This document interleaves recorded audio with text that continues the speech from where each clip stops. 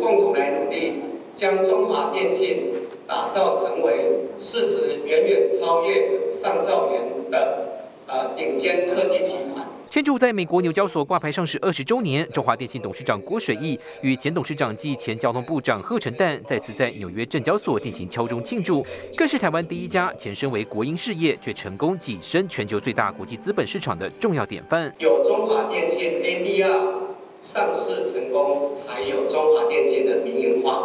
第二，有中华电信的民营化，才有啊才能够呃。呃，顺利的完成台湾电信产业自由化，多次都是超额任务这样一个形的代表。国外投资人他是试过的，使得我们对于海外市场有信心。推动海外上市重要推手前高盛亚洲区副董事长宋学仁，前中华电董座吕学景分享海外事股的点点滴滴，过程更是不容易。